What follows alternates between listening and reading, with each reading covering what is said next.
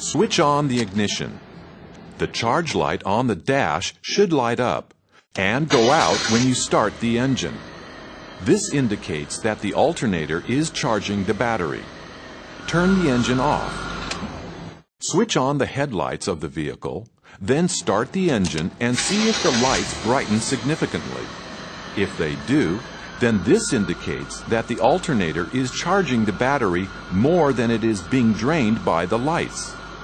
If you do not have someone else to start the engine for you, judge the brightness by shining the lights onto a reflective surface such as a wall.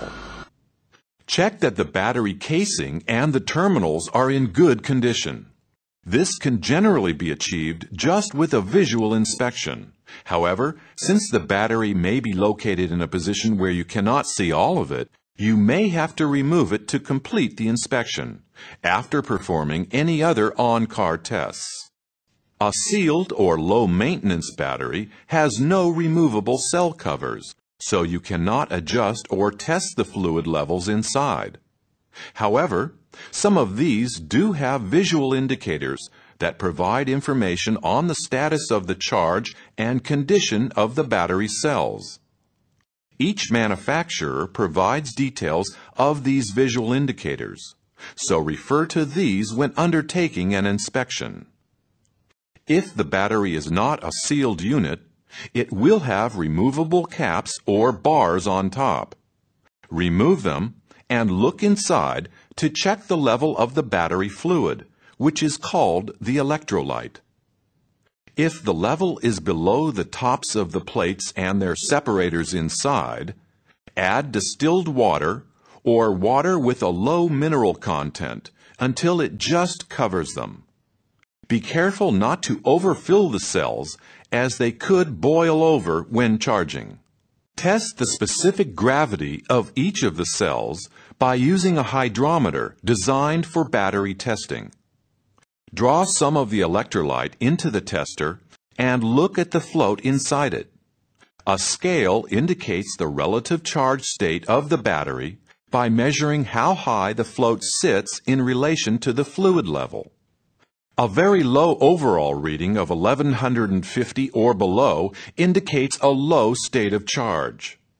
A high overall reading of about 1300 indicates a high state of charge.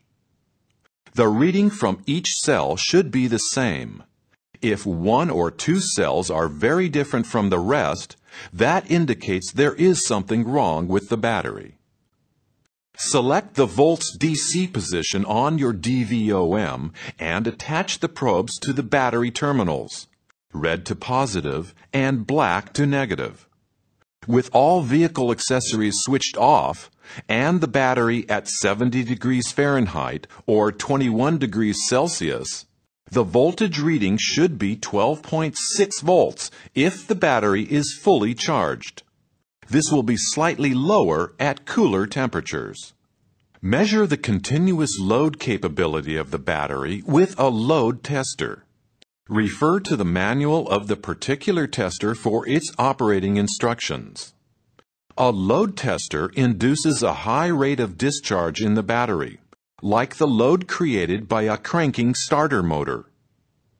A battery is rated in ampere hours which means that it can supply a certain number of amperes for a specified length of time under continuous load.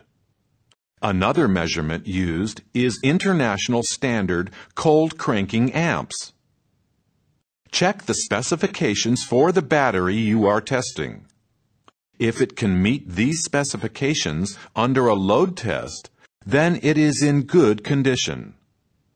There are different makes and types of load testers.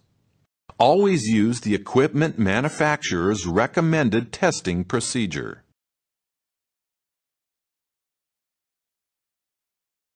فراموش نکنید که توی کانال سابسکرایب کنید زنگوله رو به صدا در بیارید و کانال رو با دیگر دوستانتون به اشتراک بذارید.